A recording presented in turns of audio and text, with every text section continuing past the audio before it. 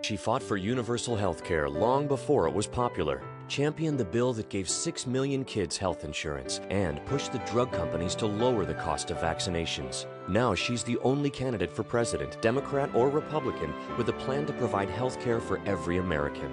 Just one reason why she's earned the support of Senators Patty Murray and Maria Cantwell because health care is a moral obligation, not a privilege.